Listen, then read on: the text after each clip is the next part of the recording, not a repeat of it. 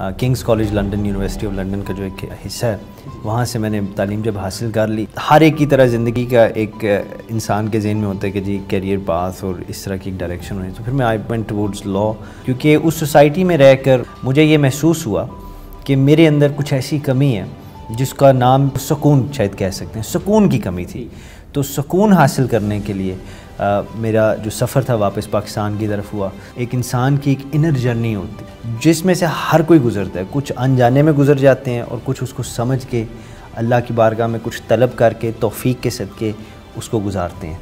मैंने एक fundamental difference दोनों में देखा है कि इधर हमारे यहाँ क्रिटिकल एनालिसिस सेल्फ डेवलपमेंट के ऊपर इतना गौर नहीं होता। मैं कोशिश करता हूँ कि मैं किसी चीज़ को नेगेटिव और पॉजिटिव में इस तरह ना देखूँ। मैं सिर्फ़ इस तरह देखूँ कि फोकस हमारी स्ट्रेंथ होनी चाहिए काम हमारा हमारी वीकनेस भी होना चाहिए।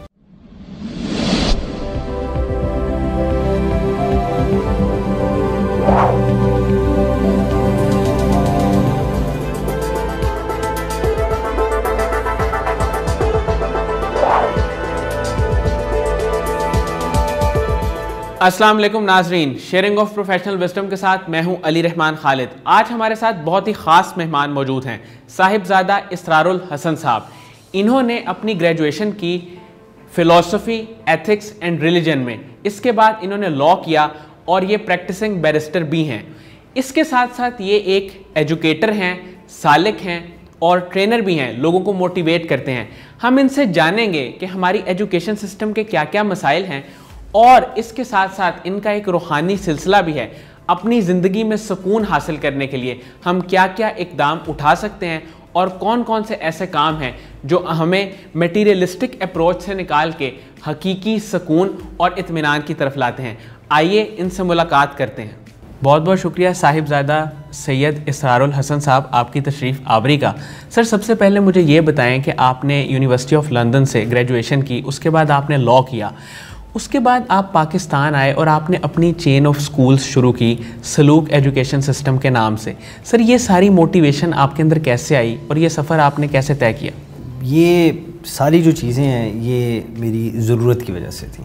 आ, मैं अल्लाह के फजल से आ, जिस तरह आपने मेंशन किया King's College London University of London का जो एक एक एक हिस्सा है वहाँ से मैंने तालीम जब हासिल कर ली तो हर एक की तरह ज़िंदगी का एक इंसान के जहन में होता है कि जी करियर पास और इस तरह की एक डायरेक्शन होनी। तो फिर मैं I went towards law law करके पाकिस्तान मेरी ज़रूरत थी।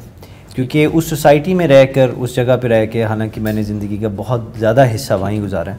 मुझे ये महसूस हुआ कि मेरे अंदर कुछ ऐसी कमी है जिसका नाम सिर्फ़ अगर एक एक एक लफ्ज़ के अंदर मैं रख सकूँ तो वो सुकून शायद कह सकते हैं। सुकून की कमी थी। तो सुकून हासिल करने के लिए आ, मेरा जो सफ़र था वापस पाकिस्तान की तरफ़ हुआ। और वैसे भी आ, जिस तरह आप जानते ही हैं मेरे अल्हम्दुलिल्लाह मेरा जो फैमिली बैकग्राउंड सारा वो पाकिस्तान या पाकिस्तान आना जाना लगा रहता था।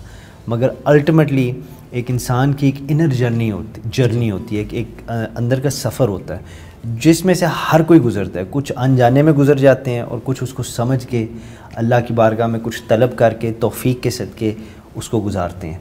तो इरिस्पेक्टिव ऑफ़ दोनों में से कौन सा इनर जर्नी सारों की होती है। तो मेरी जो इनर जर्नी थी that led me back to Pakistan sir आपने बाहर तालीम हासिल की। आप वहाँ के एजुकेशन सिस्टम को अगर हम कंपैरिजन करें यहाँ के एजुकेशन सिस्टम के साथ तो आप क्या डिफरेंसेस देखते हैं? क्या वो बेहतर है? या हमारे यहाँ क्या इम्प्रूवमेंट की गुंजाइश है? हम्म, ये वैसे बड़ा अच्छा सवाल है। और आई uh, थिंक मैं इन प्रिवलेज पोजीशन हूँ कि क्योंकि मैंने दोनों सिस्टम्स देखे हैं मैं आपको अपनी मेरी जो पर्सनल ओपिनियन है वो मैं आपके साथ शेयर कर सकता हूँ। Uh, मेरी जितनी इब्तदाई एजुकेशन थी वो इधर uh, अल्हम्दुलिल्लाह पाकिस्तान लाहौर में एच से हुई।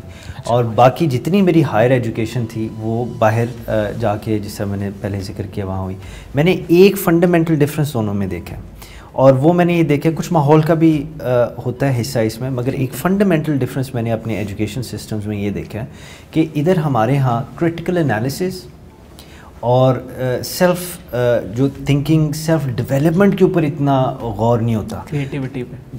क्रिएटिविटी उसका एक बाई प्रोडक्ट होता है ठीक है। इन चीज़ों का।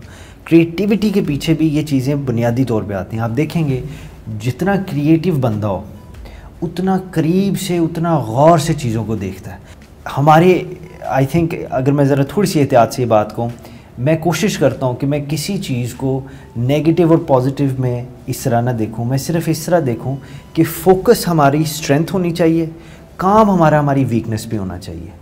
हमारे यहाँ जो वीकनेस है वो ये है कि हम अपने बच्चों को जिस एजुकेशन सिस्टम में से मैं भी गुजरा ये रोटा सिस्टम रट्टा सिस्टम जिसको हम कहते हैं इसके ऊपर ज़्यादा और वो परफॉर्मेंस रिलेटेड एजुकेशन ज़्यादा होती है जिसको मैं एजुकेशन नहीं कहता मैं इंफॉर्मेशन कहता हूँ। और बाहर के मुल्कों के अंदर जहाँ मेरा भी काफ़ी वक्त गुजरा जो मेरा एक्सपीरियंस रहा है वो ये रहा है कि बच्चों को फ्रॉम वेरी यंग एज वो कोशिश ये करते हैं कि ये इंडिपेंडेंट थिंकिंग स्किल्स डेवलप करें।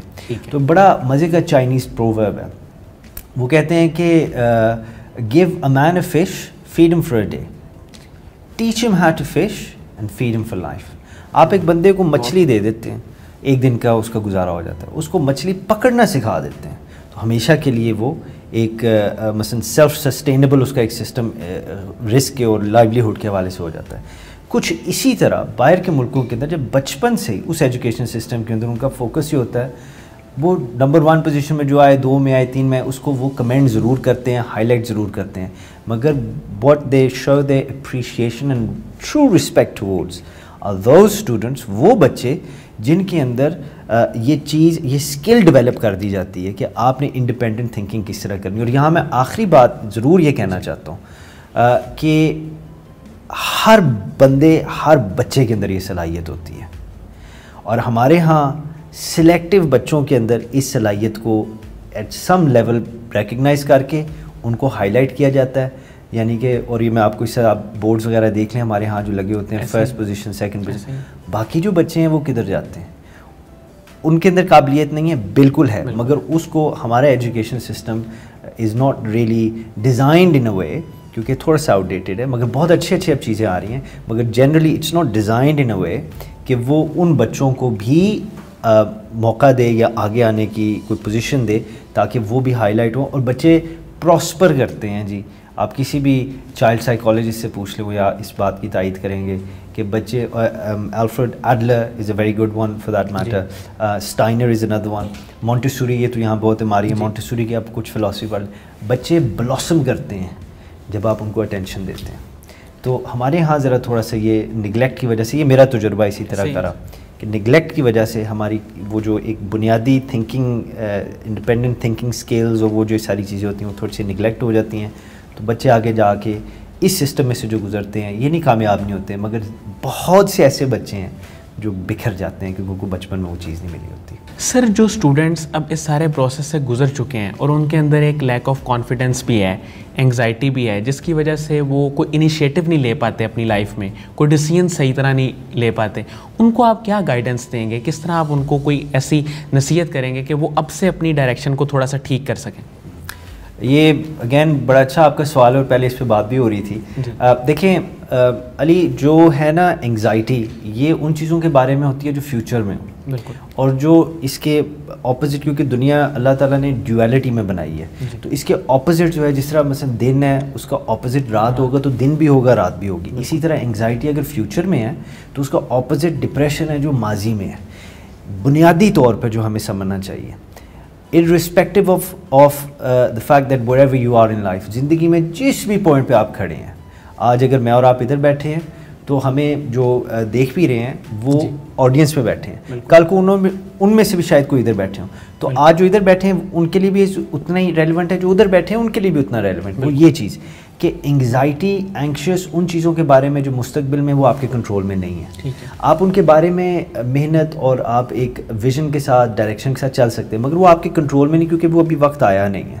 तो उसके बारे में एंक्शियस होना आई थिंक इज़ अपसर्ड और जो चीज़ें आपके माजी में हैं जिनके बारे में डिप्रेशन होता है मिसाल के काश मैं वो पढ़ लेता काश मैं ये कर लेता वो चीज़ें हो गई हैं। तो हमें ये करना चाहिए अगर इस तरह की माइंडसेट हम डेवलप कर लें जो बहुत आसान है करना मगर सिर्फ़ पहला कदम मुश्किल है। डेवलप करना आसान है मगर शुरू करना मुश्किल है। वो सिर्फ़ ये है जिससे मैंने आपसे पहले भी ज़िक्र किया कि अपने इस हाल के अंदर अपनी सांसों को गिने अपनी सांस लेके देखें कि उसके अंदर कितनी रुकावट है। एंड जस्ट अपने प्रेजेंट के ऊपर फोकस करें। जब आप अपने प्रेजेंट के अंदर हाजिर हो जाएँगे ना तो आपको ये महसूस हो जाएगा कि आपके अंदर वो एक एक एक एक एक एनर्जी होती है। वो आ जाती है जिसके अंदर से फंडामेंटली दो चीज़ों की पैदाइश होती है। एक को हम सब्र कहते हैं एक को हम शुक्र कहते हैं। और ये दोनों चीज़ें जब मिल जाती हैं तो कामयाबी के रास्ते पे वो इंसान गामजन हो जाता है। सर आपकी चेन ऑफ़ स्कूल्स है सलूक एजुकेशन सिस्टम के नाम से। सर ये किस तरह से माशरे में वैल्यू ऐड कर रही है? आ, ये अल्हम्दुलिल्लाह मेरे ज़िंदगी का एक ख्वाब है और मैं सबसे दरख्वास्त यही करता हूँ आप दुआ करें अल्लाह ताला इसको मुझे भी तोफ़ी दे और ये कामयाब हो। सलूक एजुकेशन सिस्टम की जो एक विजन एक फ़िलासफ़ी थी वो बेसिकली यही है जिस तरह मैंने एजुकेशन की पहले बात की कि हमारे यहाँ हम ये नहीं कि रिवॉर्ड नहीं करते जो बच्चे फ़र्स्ट सेकंड थर्ड या हाई पोजीशंस में आए।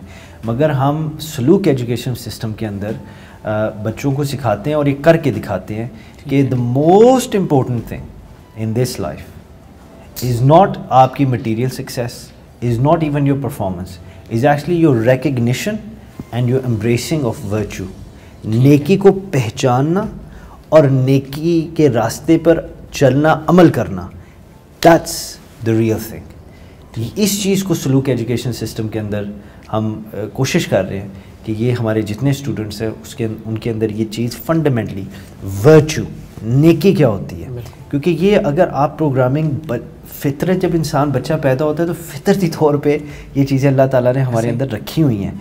हम अपनी नर्चरिंग और अपनी सोसाइटी और अपने एक्सपीरियंसेस की वजह से अमूमन अपनी फितरत से दूर हो जाते हैं। तो सलूक एजुकेशन सिस्टम जो है, ये हमारी तरफ़ से बस एक छोटी सी, छोटे से लेवल पे काविश है कि इन ताला एक हम बड़े ख्वाब को पूरा कर सकें कि हमारे अंदर, हमारे बच्चों के अंदर ये स्किल, ये ये एसेट आ जाए, जिसको वो ज़िंदगी में किसी भी मुश्किल टाइम के अंदर कैश इन कर सकते हैं which is understanding recognising embracing virtue नेकी। सर हम अपनी ज़िंदगी को अगर देखें हम कंपैरिजन करते हैं लोगों के साथ लोगों के फाइनेंशियल स्टेटस के साथ उनकी सोशल लाइफ के साथ अपनी ज़िंदगी का कंपैरिजन करते हैं। तो कंपैरिजन कितना ठीक है किस हद तक दुरुस्त है और कितना गलत है? गलत इसमें कुछ नहीं है। कंपैरिजन होना चाहिए। हजूर पाक सल्लल्लाहु अलैहि वसल्लम की हदीस पाक है। आपने फरमाया कि आपसे अगर आपने किसी जो आपसे नीचे कोई हो ज़्यादा मुश्किल में हो उसको देखो ताकि जिस पोजीशन में तुम हो उसका शुक्र अदा कर सको। और अपने से आगे वाले को उस सूरत में देखो जो नेकियों में तुमसे आगे हो ताकि तुम उसकी तरह बन सको। तो कंपैरिजन इन इट सेल्फ ये कोई बुरी चीज़ नहीं होती। हम अपने इर्द गिर्द देख के ही अपने अपने हाल का और अपने आप का हम एक परसेप्शन और कॉम्प्रीहेंशन करते हैं। इर्द गिर्द देख के। जो बंदे इर्द गिर्द नहीं देखते जो बंदे अपना कंपैरिजन किसी के साथ नहीं करते वो बंदे एक स्टैगनेंट लाइफ एक स्टिल लाइफ गुजारते हैं। और इस हवाले से अगर मैं ये मौका का फ़ायदा उठा लूँ कि फ़िकी मसला है तहारत के हवाले से प्योरीफिकेशन के हवाले से। तो आप भी जानते हैं ये आम नॉलेज है अलहमदिल्ला कि जो खड़ा हुआ पानी है वो पाक करने की सिफ्त नहीं रखता। बिल्कुल बहता हुआ पानी रखता।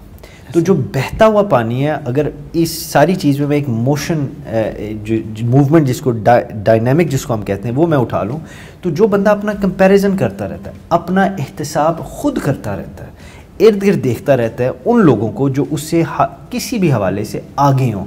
And the best comparison is कि उस बंदी से सरकार ने फरमाया उसको देखो जो नेकी में तुमसे आगे है ताकि तुम यू एस्पायर टूवर्ड्स वर्चू तो आप देखेंगे कि वो कंपैरेटिव एक्सरसाइज जो है, वो आपकी डायनमिज्म और आपके चलने की मोशन की वजह से आपके लिए बहुत मुस्तफ़ साबित होगी। मगर एट द सेम टाइम ये अनहेल्थी उस वक्त हो जाती है जब हमारे दिल के अंदर हसद और फिर बोस और फिर ये इस तरह की बीमारियाँ आ जाती हैं। इसकी वजह से हमारा दिल बजाय इसके कि एक्सपैंड हो कंस्ट्रिक्ट होना शुरू हो जाता है, सुकड़ने शुरू हो जाता है। और ये चीज़ें अल्टीमेटली ज़िंदा रहते हुए भी जानलेवा साबित होती हैं। ज़िंदा इंसान भी मुर्दा हो जाता है, क्योंकि दिल मर जाता है। तो कंपैरिजन अगर करना है तो जिस तरह हजूर ने फरमाया, सल्लल्लाहु अलैहि वसल्लम आई थिंक उसको मैार रख के किया जाए it's a very healthy thing मगर एनी थिंग बियॉन्ड दैट इससे बढ़कर अगर आप कंपैरिजन करते हैं, और आपके अंदर ये हसद आ जाता है कि आज आप इधर बैठे हैं, यार इसको नहीं बैठना चाहिए मुझे बैठना चाहिए। That's fundamental definition of jealousy actually कि इसको नहीं होना चाहिए मुझे होना चाहिए या अल्लाह इससे ले ले मुझे बिठा दे। ये उन दिलों में आ जाता है जिनके अंदर फिर ये बीमारियाँ इस तरह बननी शुरू हो जाती हैं जो उनकी फिर अल्टीमेटली जान ले लेती हैं। सर आपका एक रूहानी सफ़र भी है एक तरीक़त का सिलसिला भी है। सर ये रूह की बीमारियों का भी आपने ज़िक्र किया अभी। इनका इलाज क्या है और अल्लाह पे तवक्ल हम कैसे मज़बूत कर सकते हैं? अगर आपकी इजाज़त से मैं ये कहता चलूँ कि अल्लाह सुबहान ताली ने कुरान मजीद में फ़रमाया आउज़बिल्लिमिनशैतरजीम बसमीम अला बिक्र तत्मिनकलूब रब फरमाता है कि बंदे, तेरे दिल का चैन मेरे ज़िक्र में the peace of a heart is in the remembrance of Allah सुबहान ताली कई लोग ज़िंदगी में बहुत क्राइसिस देख के, बहुत मुसीबतें झील के कुछ ना कुछ होता है जो उनकी ज़िंदगी को उल्टा कर देता है। कोई मोहब्बत वाला दुनिया से चला जाए कोई करीबी दुनिया से चला जाए कोई नुकसान हो जाए कई कई इसके रूप होते हैं। मगर अल्टीमेटली बंदा बिल्कुल ऊपर नीचे हो जाता है टूट जाता है। तो उस वक़्त उसको इस चीज़ का एहसास होता है कि इस दुनिया के चक्कर में मैं इतना लगा रहा। मुझे जो चाहिए वो तो सुकून चाहिए। जब इंसान उस पॉइंट पे पहुँचता है उस वक़्त अगर कोई राहबर कोई रहनमा कोई किसी की दुआ हो कोई अच्छा दोस्त हो तो वो आपको कुरान की तरफ़ ले जाए। या आप ख़ुद अल्हम्दुलिल्लाह हम एक बड़ी अच्छे आ, मुल्क में भी रहते हैं हमारी सोसाइटी भी इस हवाले से बहुत स्ट्रॉन्ग है compare to other parts of the world तो आप जब तो यहाँ अल्लाह ताला ख़ुद फरमा रहे हैं जो हमारा खालिक है जो हमारा मालिक है जिसने हमें डिज़ाइन किया जिसने हमें बनाया वो फरमा रहा है कि तुझे किसी शय में तेरे दिल को सुकून सुकून चाहिए तो मेरा ज़िक्र कर। अब ज़िक्र रिमेम्बरेंस को कहते हैं।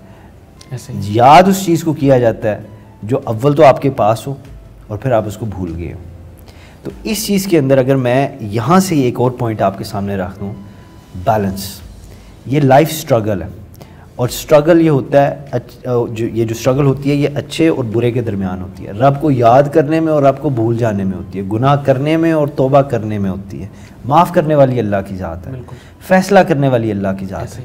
तो अगर मैं और आप सिर्फ़ अपने आप को इस इस लिमिट तक रखें कि जब हम थोड़ा सा उधर जा रहे हैं हम वापस बैलेंस में आ जाएँ। जब थोड़ा सा ज़्यादा इधर चले गए हम वापस बैलेंस में आ जाएँ। ताकि हमारी जो डायरेक्शन है वो हमेशा अल्लाह की याद की याद की तरफ़ रहे जिससे हमारे दिलों को सुकून मिलता। तो अमूमन जब बंदे इस क्राइसिस में से गुज़रते हैं वो इस तरफ़ अगर आ जाएँ तो यहाँ अल्हम्दुलिल्लाह सुकून एक ऐसी चीज़ है जिसकी हर एक को तलब होती है। सर दीन इंसान को पनाह देता है और दुनिया कहीं ना कहीं इंसान को दुनिया की लालच और उसकी एक्स्ट्रा तलब जो है वो रसवा कर देती है। ये चीज़ हम अपनी यूथ को समझाने के लिए क्या इकदाम उठा सकते हैं?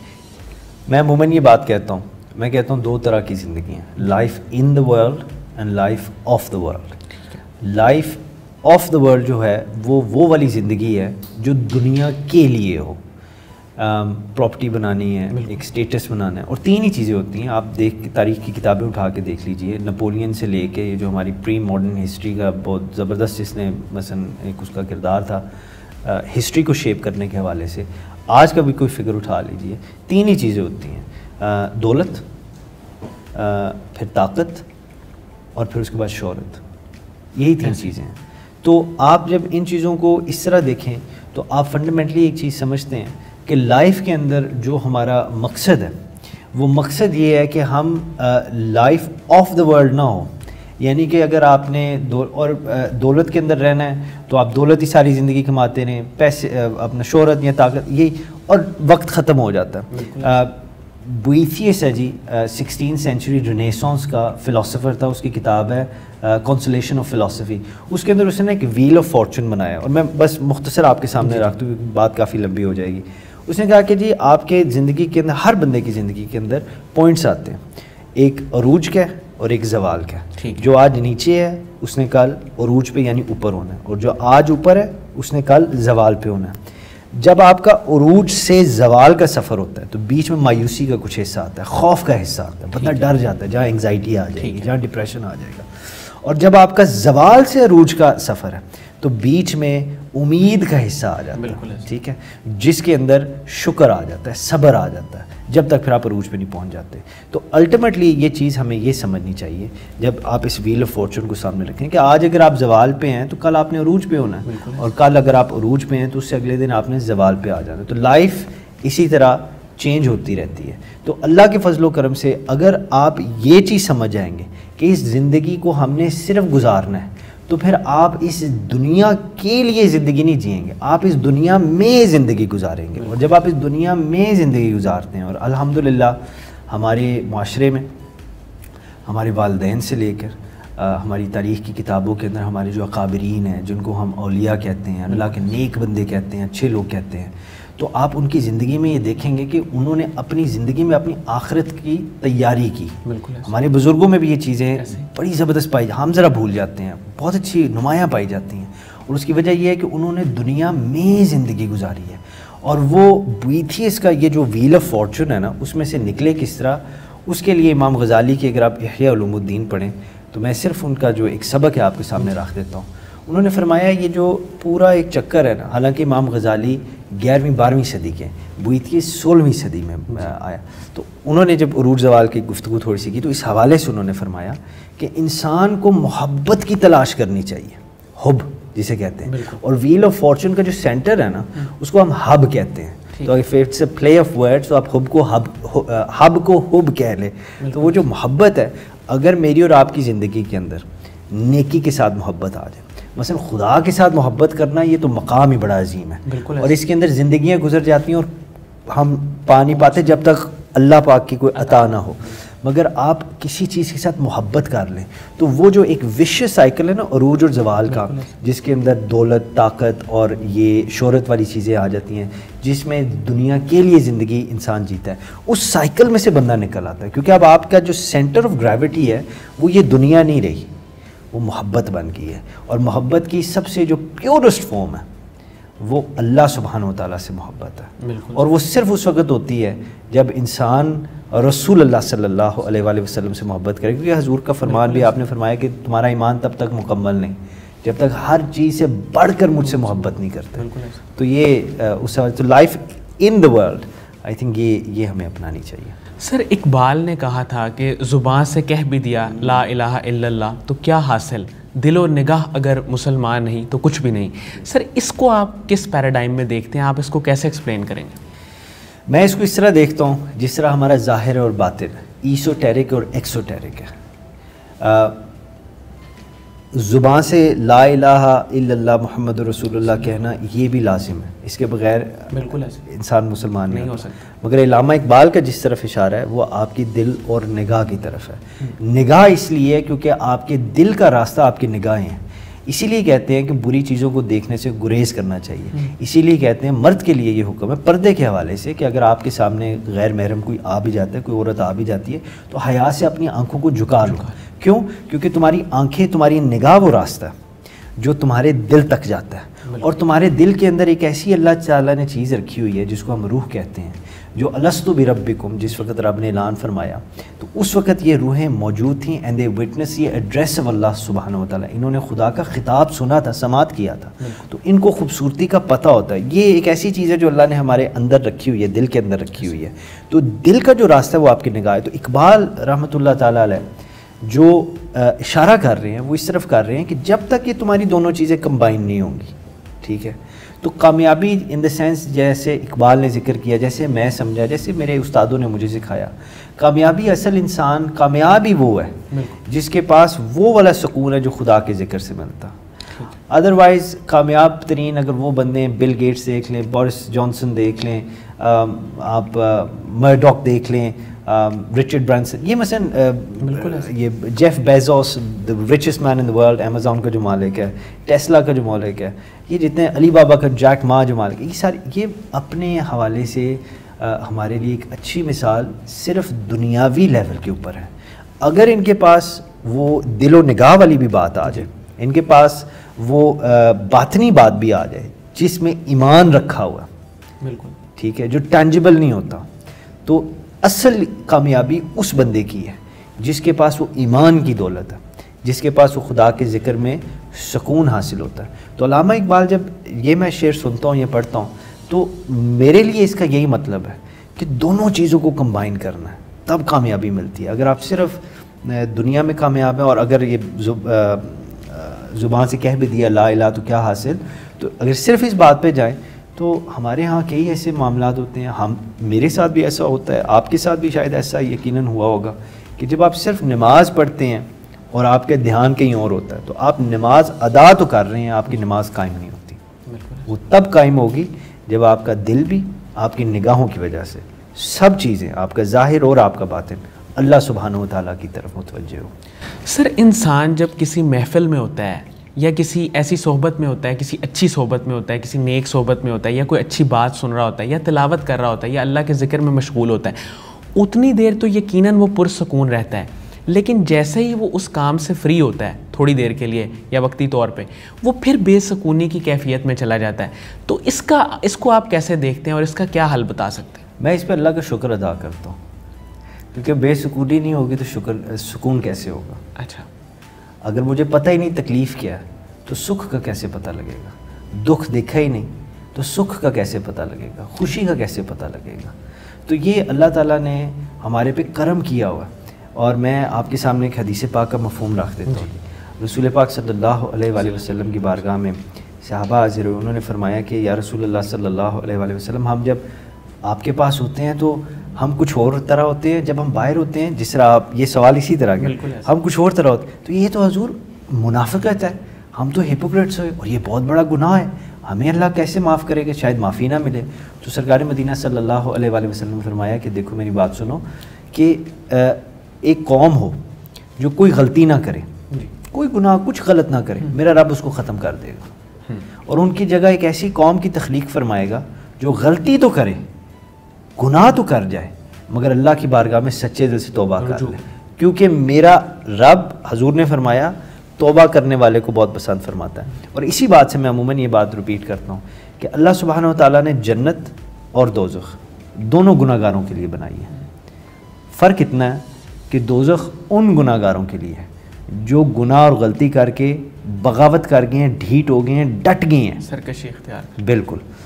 उनके लिए वो दोजख है। और जन्नत मेरे रब ने उनके लिए बनाई है जिन्होंने गलती तो कर ली मगर अल्लाह की बारगाह में सच्चे दिल के साथ फिर तोबा कर ली। और जब मेरे रब ने उनको माफ़ कर दिया तो मेरे रब ने उनको कुर्बत भी अता फरमाई और इनाम में जन्नत भी अता फरमाई। सर आपके फ्यूचर में क्या प्लान्स हैं क्या गोल्स हैं? आप यूथ की डेवलपमेंट के लिए माशरे की खिदमत के लिए क्या क्या करना चाहते हैं? मैं ये भी बात आपको एक ऐसी फरमाने वाली शान से समझाना समझाने की कोशिश करूँगा। जिसके अंदर मेरी सांस लेने का भी मकसद शामिल है। आ, मैंने एक हदीस पाक पढ़ी हजूर रसूल पाक सल्लल्लाहु अलैहि वसल्लम का फरमान है। और मैं एक बात और कहता चलूँ जो मैंने ऑब्ज़र्व किया मैंने नोटिस किया अपनी सोसाइटी में। हमें अपने दीन से शर्म आती है। और इसका एक साइकोलॉजिकल एक्सप्लेनेशन है कि हम एक इन्फीरियोरिटी कॉम्प्लेक्स के शिकार हो चुके हैं। क्योंकि हम ये समझते हैं और हमारी अब हम पोस्ट मॉडर्निटी में हम रह रहे हैं। कार्ल मार्क्स ने एक बात कही थी। ही सेट के religion is the opioid of masses तो उसको हम समझ नहीं पाए। अब ओपियोइड वो चीज़ होती है जो आपको नम कर दे। ठीक है? तो हम अमूमन ये समझे हैं कि कार्ल मार्क्स ने ये बात ये कही कि ये ओपियोइड है मज़हब जो है लोगों के लिए क्योंकि ये उनके हर चीज़ को नम कर देता है वो आ, बिल्कुल ख़त्म कर देता है। हालाँकि उसने ये बात नहीं कही। उसने जब ओपियोइड की बात की थी ना तो उसका मतलब ये था कि दुनिया के अंदर सफरिंग बहुत ज़्यादा है मुसीबतें बहुत ज़्यादा है। मज़हब एक ऐसी चीज़ है जो लोगों को उस चीज़ से उस दर्द और दुख से बचाती है। ठीक है?